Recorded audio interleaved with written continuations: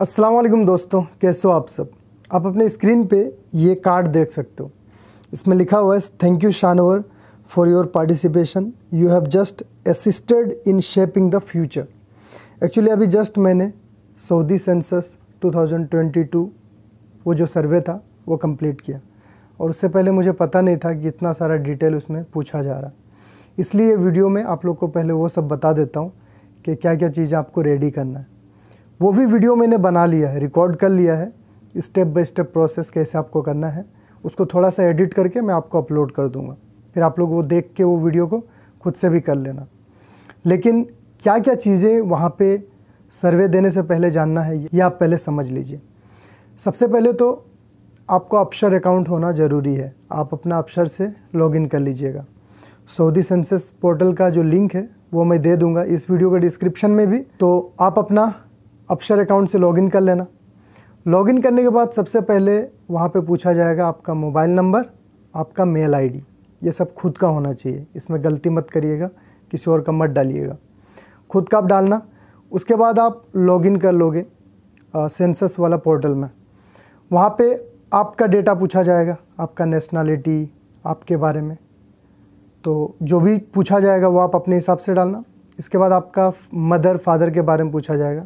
उनका भी सही सही डेटा आपको डालना है। उसके बाद आपसे वहाँ पे पूछा जा रहा है आपका क्वालिफ़िकेशन आप कितने पढ़े लिखे हो? ये भी वहाँ पे ऑप्शन सेलेक्ट करना है। ये वही करिएगा जो आपके पास में एक्चुअल में है। उसके बाद वहाँ से आपको पूछा जाएगा कि आप काम किसमें करते हो? कौन सा कंपनी में? या फिर आज़ाद वीज़ा में हो? तो वो भी आप सेलेक्ट कर लेना कंपनी में काम करते हो।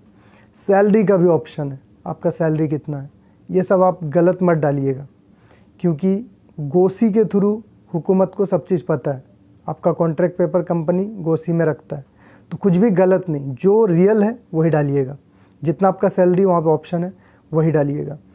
इसमें मैं बाद में बात करूँगा। आगे चल के बहुत अभी दिक्कत होने वाला उन लोगों को, जो लोग पार्ट टाइम वगैरह करते हैं, ज़्यादा ट्रांजेक्शन करते हैं। तो वहाँ पे अपना सैलरी एक्चुअल डालिएगा। सैलरी के बाद में वहाँ पे आपसे पूछा जाएगा, आपका पोजीशन इकामा वाला पोजीशन नहीं।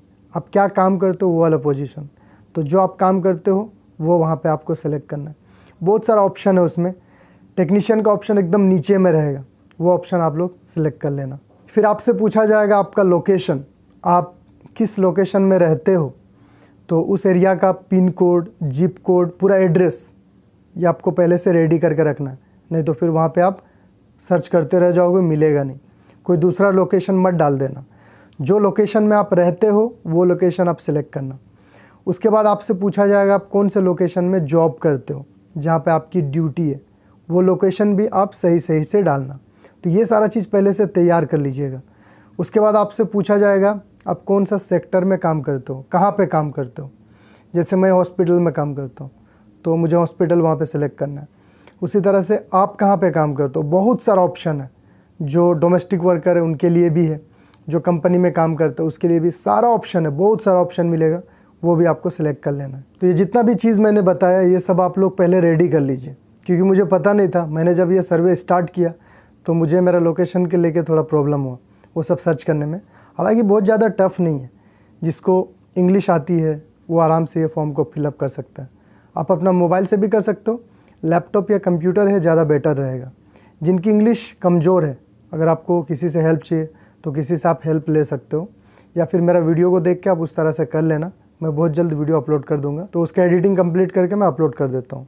और इंपॉर्टेंट चीज़, ये जो मैंने सर्टिफिकेट दिखाया, मेरा, इस तरह का आपको भी सर्टिफिकेट मिलेगा वो सर्वे कंप्लीट करने के बाद। तो ये सर्टिफिकेट को डाउनलोड करके रखना है, क्योंकि अभी ऑडिट भी होगा इस पर मिनिस्ट्री वाले चेक करेंगे कि आपने सर्वे कंप्लीट किया या नहीं किया। ये सर्वे बहुत ज़रूरी है। शाम में ही मैंने वीडियो बना के आप लोग को बताया। जो लोग इसमें पार्टिसिपेट नहीं करेंगे, उनको फ़ाइन लगाया जाएगा। तो इसको सीरियसली लेना, जितना भी रेसिडेंट गैर मुल्की लोग यहाँ पे काम कर रहे कामा है, यहीं पे रहते हैं, उनको ज़रूरी है इसमें पार्टिसिपेट करना। जो लोग सऊदी से बाहर गए हैं, वो कैसे करें? छुट्टी में गए हैं, वो भी जो लिंक है, उस पर क्लिक करके वेबसाइट में जाके कर सकते हैं, क्योंकि ये ऑनलाइन करना है। तो ऑनलाइन करना कोई बड़ी बात नहीं है, आप आराम से कर सकते हो। तो फ़िलहाल इस वीडियो में मुझे इतना ही बताना था आप लोगों को। माजरत चाहता हूँ कि वो वीडियो अपलोड करने में लेट हो रहा। सुबह से मैं भी परेशान हूँ। अभी तक खाना भी नहीं खाया हूँ, ना अपना कुछ काम किया हूँ। ये वीडियो के चक्कर में बिज़ी था। तो चैनल पे जो भी लोग नए हैं सब्सक्राइब कर लेना। मैं बहुत एक्टिव रहता हूँ। सऊदी अरबिया से रिलेटेड जितने भी अपडेट हैं इंपॉर्टेंट अपडेट वो सब आपको रेगुलर बेसिस पे मिलते रहेंगे। मिलता हूँ फिर नेक्स्ट वीडियो में। ख्याल रखिए अपना। Thank you so much for watching